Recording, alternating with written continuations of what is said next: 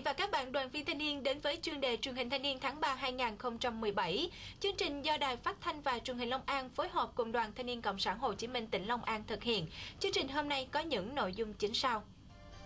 Tỉnh đoàn Long An tổ chức lễ phát động tháng thanh niên năm 2017. Đức Hòa giáo dục truyền thống cho học sinh thông qua việc đặt tượng trong trường học phỏng vấn anh Bùi Quốc Bảo, Bí thư Đoàn Thanh niên Cộng sản Hồ Chí Minh tỉnh Long An về các hoạt động trong tháng thanh niên 2017. Cuối chương trình là một thắp sáng ước mơ. Bây giờ mời quý vị và các bạn bắt đầu theo dõi.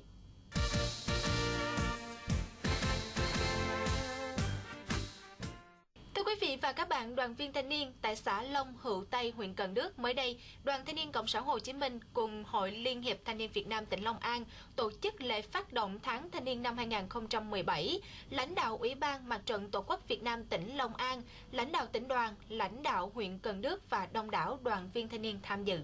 Long An với chủ đề Tuổi trẻ chung tay xây dựng nông thôn mới và đô thị văn minh, tháng thanh niên năm 2017, Đoàn Thanh niên Cộng sản Hồ Chí Minh tỉnh Long An triển khai nhiều hoạt động sôi nổi, thể hiện vai trò trách nhiệm của thanh niên đối với cộng đồng.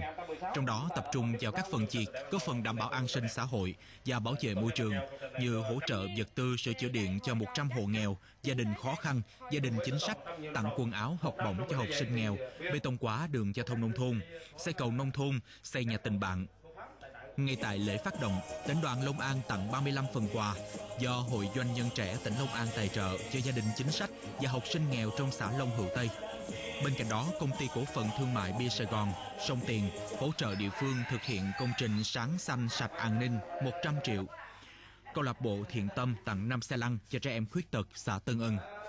Ngoài việc tổ chức các đoàn đến thăm tặng quà các mẹ Việt Nam anh hùng tại xã Long Hữu Tây, các bạn đoàn viên thanh niên quyện Cần Đước còn chung sức dặm giá, nâng cấp tuyến đường giao thông nông thôn chào trường trung học cơ sở Long Hữu Tây gần 1 km để tạo điều kiện đi lại thuận tiện cho người dân, nhất là các em học sinh.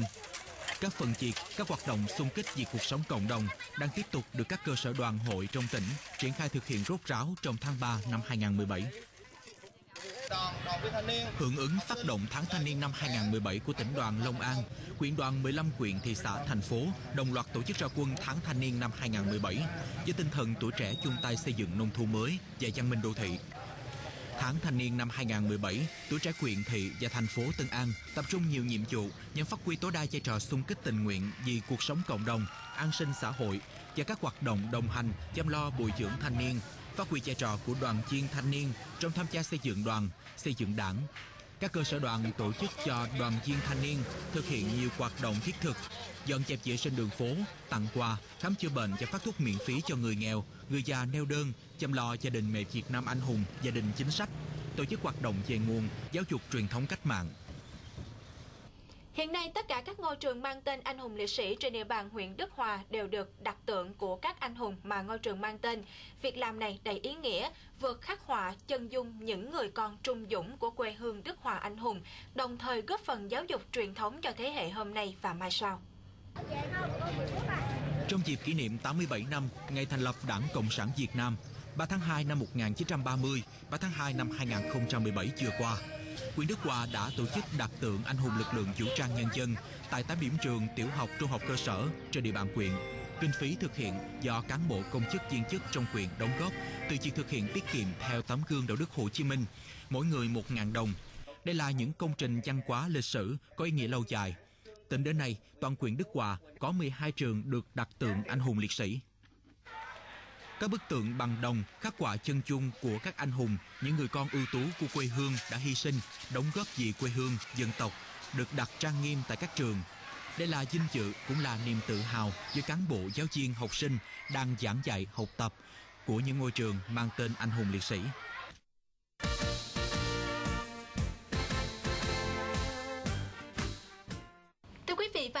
Đoàn viên thanh niên, chúng ta đã chính thức bước vào tháng 3, tháng cao điểm của các hoạt động đoàn. Tuy nhiên, tháng thanh niên năm nay có nhiều điểm khác biệt so với các năm trước. Toàn hệ thống đoàn đang gấp rút tiến hành đại hội đoàn các cấp, tiến tới đại hội đại biểu toàn quốc Đoàn Thanh niên Cộng sản Hồ Chí Minh lần thứ 11 nhiệm kỳ 2017-2020. Hoạt động tháng thanh niên năm nay của Đoàn Thanh niên Cộng sản Hồ Chí Minh tỉnh Long An sẽ được tổ chức như thế nào? Thanh Huyền mời quý vị và các bạn đoàn viên thanh niên gặp gỡ anh Bùi Quốc Bảo, bí thư Đoàn Thanh niên Cộng sản Hồ Chí Minh tỉnh Long An. Dạ xin chào anh Bùi Quốc Bảo. À, cảm ơn anh đã tham gia chương trình à, ngày hôm nay. Và đầu tiên thì à, xin anh chia sẻ về cái chủ đề của tháng thanh niên năm nay và trong tháng thanh niên năm nay chúng ta sẽ phải thực hiện những hoạt động nào là trọng tâm ạ? À, kính chào quý khán giả, à, kính chào tất cả các bạn đoàn viên thanh niên thân mến. À, năm 2017, à, tỉnh đoàn Long An phát động chủ đề của tháng thanh niên đó là tuổi trẻ Long An à, chung tay à, xây dựng cái nông thôn mới và dân minh đô thị. À, phát huy cái à, thành tích của tháng thanh niên à, những năm trước đây. À, năm 2017 thì à, đoàn thanh niên đã chủ động để mà triển khai sớm cái chủ đề tháng thanh niên năm 2017 đến tận cơ sở. À, với cái chủ đề này thì đoàn thanh niên các cấp trong tỉnh Long An mong muốn rằng thì tuổi trẻ toàn tỉnh à, chúng ta phải tập trung thực hiện à, thật nhiều các công trình các phần việc thanh niên. À, để xung kích tình nguyện thực hiện cái nhiệm vụ quan trọng đó là thi đua để thực hiện cái nghị quyết đại hội đảng bộ các cấp trong tỉnh à, nhiệm kỳ 2015-2020. À, cái thứ hai nữa là gắn với việc thực hiện các công trình này đó là để chào mừng à, đại hội đoàn các cấp trong tỉnh sẽ diễn ra trong năm 2017 với nhiệm kỳ 2017-2022. À, với yêu cầu đó thì à, đoàn thanh niên các cấp trong tỉnh đã có đề ra một số chỉ tiêu quan trọng À, như là tổ chức đoàn phải là thi đua để thực hiện thắng lợi cái đại hội cấp cơ sở à, diễn ra à, kết thúc rồi trong cuối tháng 3 và đầu tháng 4 năm 2017. À, cái thứ hai nữa là à, đẩy mạnh các cái phong trào à, để xác định cái vai trò tuổi trẻ trong cái giới thiệu việc làm tư vấn nghề cho khoảng 8.000 đồng viên thanh niên. À, cái thứ ba nữa là đoàn cơ sở các cấp trong tỉnh à, phải thi đua thực hiện à, thật nhiều các công trình phần việc thanh niên. À, trong đó yêu cầu cấp huyện phải tổ chức ít nhất một công trình thanh niên để chào mừng đại hội đoàn thanh niên các cấp trong tỉnh. À, cái thứ tư nữa là đoàn thanh niên chúng ta cố gắng làm sao để à, tham mưu cấp ủy, rồi phối hợp với chính quyền tổ chức các cái buổi là tọa đàm à, giao lưu giữa cán bộ đoàn viên thanh niên với lãnh đạo đảng lên nhà nước để à, tranh thủ các nguồn lực tháo gỡ khó khăn rồi phối hợp các ngành để huy động các nguồn lực để tập trung à, làm sao để tháng thanh niên năm 2007 thật sự lan tỏa đến tại cơ sở. À, đặc biệt cái nữa thì tháng thanh niên năm nay thì sẽ tổ chức các phong trào để chăm lo và góp phần an sinh xã hội rồi chăm lo đến các đối tượng cán bộ à, đoàn đoàn viên thanh niên và các em thanh thiếu nhi ở cơ sở so với à, các năm trước thì à, tháng thanh niên năm nay có điểm gì khác biệt ạ? À, tháng thanh niên năm 2017 với cái chủ đề là tuổi trẻ xây dựng nông thôn mới và dân minh đô thị à, yêu cầu của ban thường vụ tỉnh đoàn là đoàn thanh niên chúng ta cố gắng làm sao để đưa các phong trào à, về tận cơ sở à, để cho được đông đảo đoàn viên thanh niên xác định những công trình những phần việc mà trọng tâm đó là phải thực hiện cái nhiệm vụ quan trọng đó là thực hiện nghị quyết đại hội đảng cấp mình. À, trong đó cái yêu cầu là phải thực hiện cái nhiệm vụ là góp phần để xây dựng các công trình xây dựng nông thôn mới và dân minh đô thị. À, cái thứ hai một điểm nổi bật nữa đó là à, gắn với thực hiện các công trình phần việc này thì đoàn thanh niên cũng phải tổ chức các phong trào các phần việc để thi đua à, thực hiện thắng lợi cái nhiệm vụ đại hội à, đại biểu đoàn thanh niên các cấp nhiệm kỳ 2017 2022 Vậy thì hiện nay nhiều cơ sở đoàn trên địa bàn tỉnh Long An đang tổ chức đại hội đoàn cơ sở thì ờ, nên mọi nguồn lực đều có thể là tập trung cho cái hoạt động này. Liệu các hoạt động trong tháng 3 có vì thế mà bị ảnh hưởng? Và trước cái tình hình đó thì chúng ta cần phải làm gì để vừa đảm bảo sự thành công của đại hội mà cũng lại phát huy hết tinh thần xung kích tình nguyện của thanh niên trong tháng cao điểm thanh niên tình nguyện thưa anh ạ? À, về tinh thần của ờ, tháng thanh niên năm 2017 thì tỉnh đoàn cũng đã triển khai từ rất sớm À, cuối năm 2016 thì ờ, tỉnh đoàn cũng đã có định hướng cái chương trình ờ, công tác đoàn đến đoàn cơ sở và các cái huyện.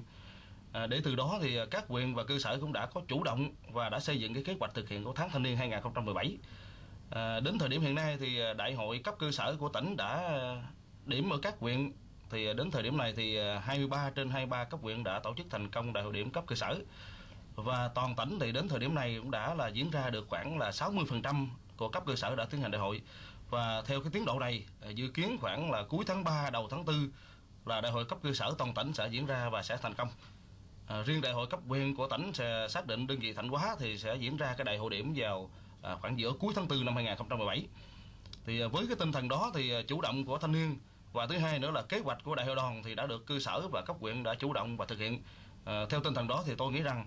à, với sự quyết tâm cao thì cũng không có ảnh hưởng gì đến cái cái kết quả các phong trào của tháng thanh niên 2017 à,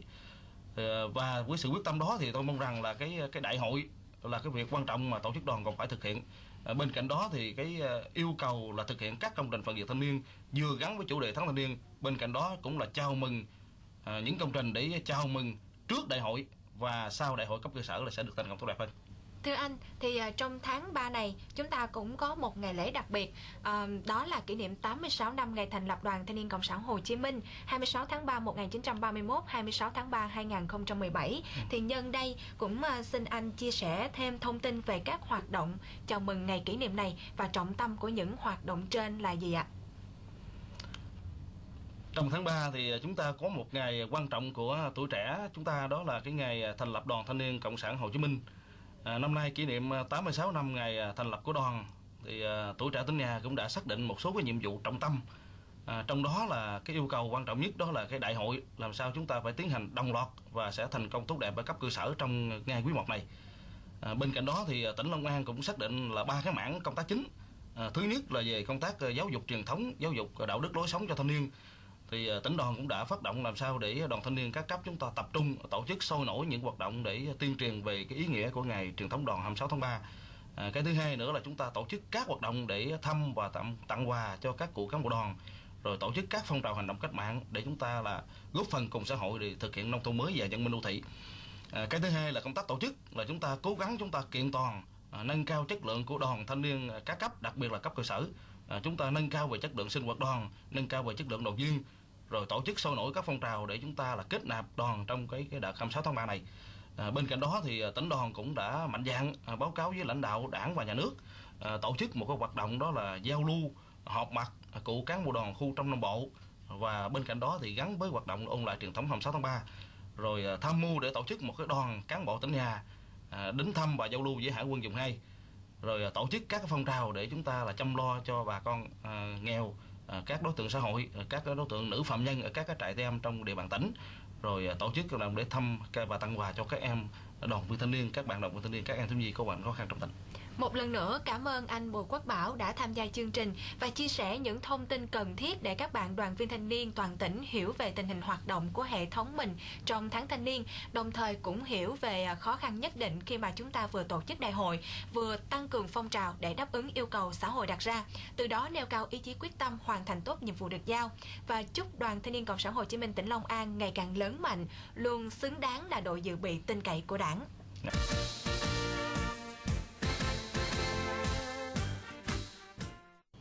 Vừa qua, hành trình thắp sáng ước mơ của Ngân hàng Nông nghiệp và Phát triển Nông thôn Agribank Long An và tỉnh đoàn Long An tiếp tục đến trường Trung học cơ sở Tuyên Bình Tây huyện Vĩnh Hưng, chia sẻ với hoàn cảnh của em Nguyễn Thị Yến Nhi, học sinh lớp 6A1.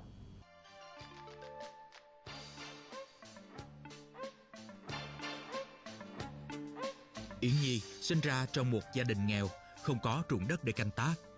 Năm em lên 4 thì ba mẹ em chia tay – Mẹ đi làm xa, lo cuộc mưu sinh. Em về sống với bà ngoại. Hai bà cháu đùm túm nhau cũng từ lúc ấy. Cuộc sống trăm ngàn khó khăn, Nhưng không chỉ thế mà cô học trò nhỏ thôi ước mơ về một tương lai mới. Để thực hiện điều đó Yến Nhi luôn cố gắng học Và năm nào cũng đạt thành tích cao trong lớp. Nỗ lực của em đã được nhà trường ghi nhận Và giới thiệu cho chương trình thắp sáng ước mơ. Ngân hàng Nông nghiệp và Phát triển Nông thôn Aribank Long An cùng tỉnh đoàn Long An đã trao cho em suất học bổng trị giá 7 triệu đồng. Đây là niềm động viên lớn, đồng thời cũng là nguồn lực để tiếp sức cho em trên chặng đường sắp tới. Đến đây thì thời lượng dành cho chương trình đã hết. Cảm ơn quý vị và các bạn đoàn viên thanh niên quan tâm theo dõi. Thân ái chào tạm biệt và hẹn gặp lại trong chuyên đề truyền hình thanh niên tháng sau.